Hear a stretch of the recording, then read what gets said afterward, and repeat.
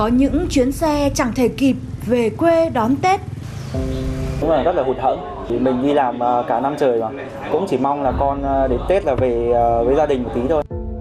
cho môi trường sạch sẽ hơn cho mọi người ở nhà yên tâm ăn Tết. Đấy, còn còn chúng tôi có thể là chúng tôi về sau. chuyển sang giấy bánh trưng mới giò Có những bữa cơm chẳng thể trọn vẹn. tôi rất là thương con nhưng bởi vì là tôi luôn tôn trọng cái quan cái quyết định của con Một năm chỉ có một lần được bên ba mẹ cùng đón giao thừa Vậy mà năm nay lại chẳng thể về Khi mùa xuân ở lại.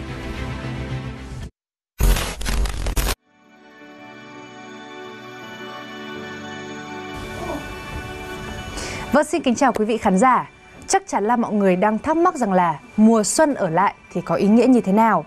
Đó là mùa xuân khi mà chúng ta không có người thân, không có gia đình ở bên cạnh. Và tôi lúc này thì cũng đang rất là may mắn khi đang được ở trong chính căn nhà của mình để đón Tết bên gia đình. Thế nhưng có nhiều người thì họ đã chọn đón Tết xa nhà để ở lại và để sẻ chia. Trong số đó thì có những người mà đang sinh sống và làm việc tại Hà Nội. Vâng, một năm đằng đẵng rời xa quê hương để đi làm và cũng chỉ mong tới ngày Tết được trở về đoàn tụ với gia đình. Thế nhưng họ đã có quyết định ở lại để đảm bảo an toàn cho chính bản thân và cho người thân của mình trước diễn biến phức tạp của dịch bệnh Covid-19. Năm nay là một năm đáng nhớ đối với Tuấn Anh, bởi người thanh niên này lần đầu đón cái Tết xa gia đình, người thân.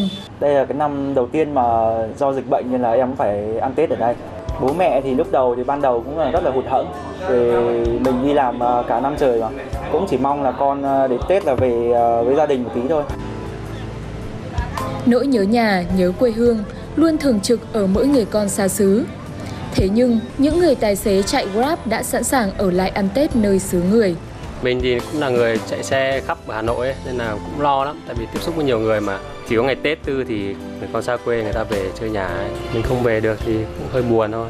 Thì mà thời buổi này thì thôi chấp nhận vậy.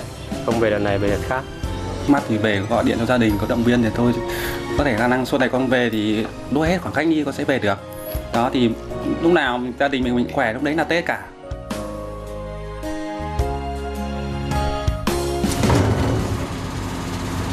Còn với anh Tiến, năm nay anh không thể về ăn Tết cùng gia đình vì sứ mệnh mang lại môi trường xanh sạch đẹp cho người dân dịp nghỉ Tết Nguyên đán. Tết Nguyên đán thì tất cả các gia đình thì đều về quê, kể cả công nhân công nhân thì cũng đều phải về hết thì chúng tôi ở đây là chúng tôi uh, duy trì cho nó sạch sẽ. Tôi cũng rất là vui vì là có thể là ừ, anh em chúng tôi sẽ làm được uh, cho môi trường sạch sẽ hơn cho mọi người ở nhà yên tâm ăn Tết. Đấy, còn còn chúng tôi có thể là chúng tôi về sau. Chạy xe hơn 8 tiếng một ngày xuyên Tết. Thế nhưng không lúc nào anh Tiến cảm thấy mệt mỏi vì có sự động viên tinh thần từ gia đình cũng như đồng nghiệp. bánh trưng rồi tất cả các thứ mà của của hương vị của ngày Tết thì công ty cũng đã lo cho chúng tôi rồi. Còn về cơ bản của gia đình thì cũng gửi đến một số chút của quê, chẳng hạn như là giò rồi bánh trưng, bánh chiếc đấy là những cái cơ bản của ngày Tết. Mặc dù không đón Tết cùng gia đình, nhưng những người lao động ở lại đây vẫn chuẩn bị cho mình một mâm cơm đặc biệt. Bánh trưng, nem rán, dưa hành, hay thậm chí là cành đào. Hương vị ngày Tết đã ngập tràn trong căn phòng nhỏ bé này. để được đón tết nay thì mình cũng cũng sắm được bánh trưng đây cái đào xung quanh mình đây và mình cũng tự ngày thường mình gia đình mình ăn như thế nào thì ngày tết ấy, mình cũng tự mua về mình thưởng cái tết cá nhân mình vậy đó cho bớt nhớ nhung quê hương Khi mà cùng mấy anh em ờ, chuẩn bị một cái bữa tất niên như vậy ấy, thì nó cảm giác của em là một cái trải nghiệm rất là thú vị. Lần đầu tiên được ăn Tết cùng những ờ, người anh em không phải là gia đình, ăn Tết cùng những người lạ và những người đồng nghiệp của mình. Cảm giác được gắn kết được những anh em lại với nhau. Mùa xuân ở lại của bất kỳ ai cũng đều không phải là một quyết định dễ dàng. Ngày Tết là thời điểm sum vầy cùng gia đình, nhưng ở nhiều hoàn cảnh thì ngày Tết không về nhà lại là ngày ý nghĩa cho cộng đồng cũng như xã hội, kể cả đánh đổi hạnh phúc của chính bản thân. Tôi muốn chúc ờ, toàn thể gia đình nhà tôi ờ, luôn luôn là yên tâm là ở nhà ăn một cái Tết Tân Sửu vui vẻ để cho chúng tôi yên tâm công tác ở trên này. Con cũng chúc ờ, bố mẹ ở nhà ở quê ăn Tết thì ờ, giữ gìn sức khỏe.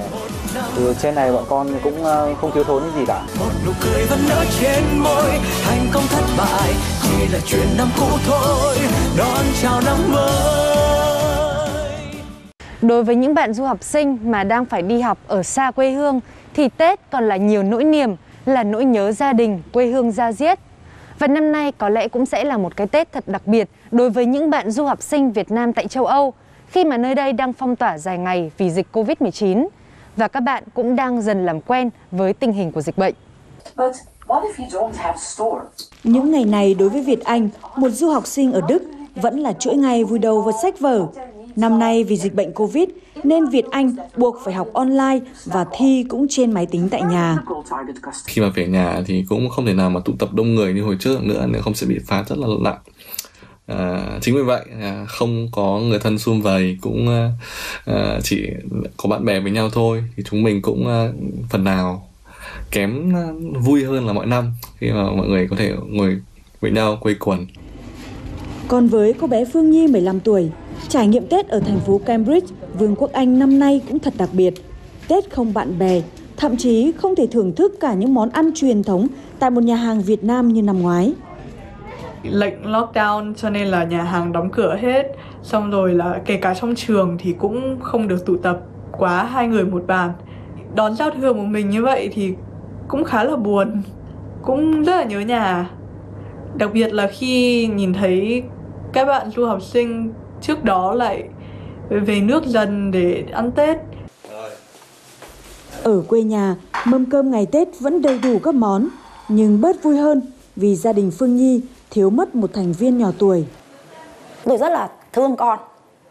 Nhưng bởi vì là, bởi vì là tôi tôi luôn tôn trọng cái quan, cái um, quyết định của con. Đến khi um, con trở, quay trở lại anh thì um, rất là may thì Việt Nam mình sang Anh là không bị cách ly tập trung, mà con chỉ cách ly tại trường. Và cho đến bây giờ, tiếp tục một đợt bùng phát dịch ở bên đó. Vợ chồng tôi lại thuyết phục cháu quay trở về Việt Nam.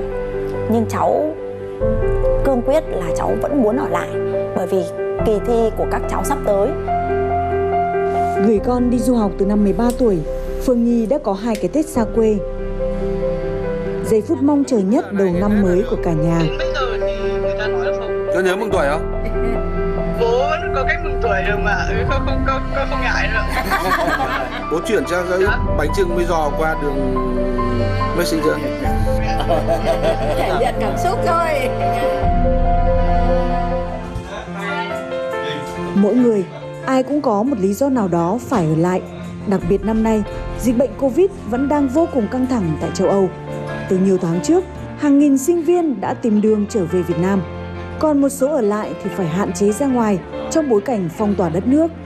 Cho nên, niềm vui ngày đầu năm mới của các bạn du học sinh cũng vì thế mà giản dị hơn nhiều gia đình cùng nhau xem pháo quân, xem pháo hoa và cũng như là mùi khói khét của cái đốt vàng mã nữa thì uh, năm nay mình mình có thể nói là những hình ảnh đó là những hình ảnh mà mình uh, đã bỏ lỡ trong suốt 5 năm vừa qua và mình rất là mong rằng là có một ngày mình sẽ được trở về Việt Nam ăn Tết Cả là năm nay do ảnh hưởng của Covid nữa ấy, mình thật sự rất là lo lắng cho gia đình của mình khi mà mình ăn Tết xa quê ấy. Nên là phải nói rằng là cực kỳ nhớ chúc mọi người có một năm mới tân sửu thật an lành và cũng thật an toàn. Chúc mừng năm mới. Vâng, dù là cách cả nửa vòng trái đất hay là chỉ vài trăm cây số thôi, thế nhưng Tết đối với những người con xa quê, xa nhà luôn là gì đó vừa háo hức, vừa lạ lẫm nhưng vẫn thật là cô đơn. Và năm nay thì do dịch bệnh Covid-19, thế nên nhiều bạn sinh viên đã quyết định ở lại nơi mà mình đang theo học để không ảnh hưởng tới người thân, tới gia đình. Và có cả những em học sinh dù còn rất nhỏ tuổi thôi, thế nhưng cũng đang phải đi cách ly. Tết đối với các em bây giờ là nhận tin mình và các bạn được an toàn. Một năm chỉ có một lần được bên ba mẹ cùng đón giao thừa Vậy mà năm nay lại chẳng thể về Ăn Tết một mình nơi xa mới cảm thấy quý Thấy nhớ Thấy thèm cái Tết xung vầy bên gia đình Tết này con không về Mẹ đừng buồn nhé Hết dịch con sẽ về.